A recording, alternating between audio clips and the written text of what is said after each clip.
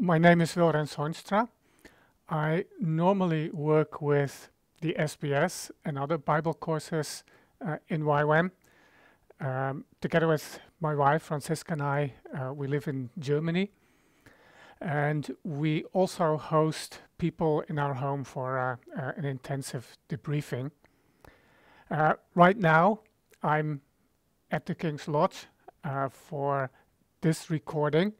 And I, I, guess one reason I've been asked to do this introduction on how to write an academic paper is because I've done a fair bit of academic training uh, and I've continued to be involved over the years in um, academic work uh, and academic thinking.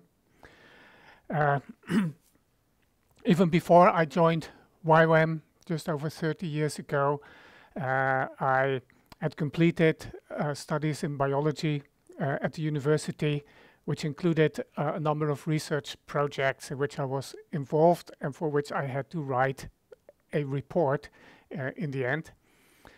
Uh, when I joined YWAM and got involved with the SBS, I entered a very different field of research and scholarship, biblical studies. Uh, I did a, a, master's degree with uh, the U of N uh, with a major in biblical studies.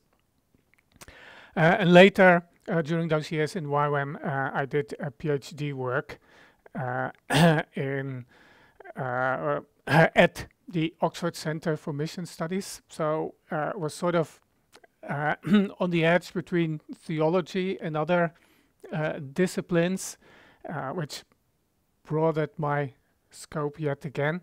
Uh, and then over the years, I've been involved with uh, several other people in their research projects uh, and writing. Um, that includes two uh, students that I supervised for their um, thesis, uh, and a few people I helped with uh, proofreading and, and other feedback on their research projects and, and their writing.